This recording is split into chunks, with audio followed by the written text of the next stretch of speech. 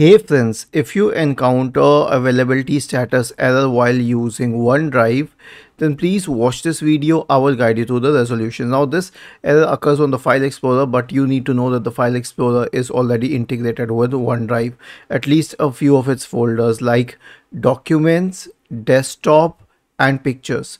So if you encounter this error and a lot of users found the solution helpful, here's what you have to do First of all, you need to open your OneDrive account. Now, uh, right click here and it would mention whether your files are synced or not. If they are not synced, then you will have to sync them. You'll get errors here. You'll have to resolve them accordingly. But if not, click on this settings uh, symbol here and select settings.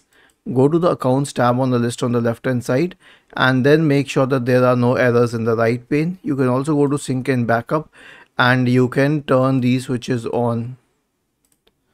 Okay no not this one this one is pause syncing when the device is in battery mode don't uh, switch this on but you can switch all, on all other uh, switches and then you can obviously uh, search for OneDrive in the Windows search bar and hit enter.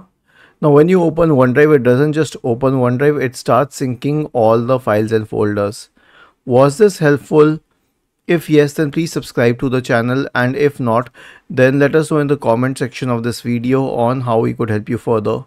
Thank you for watching this video and have a nice day.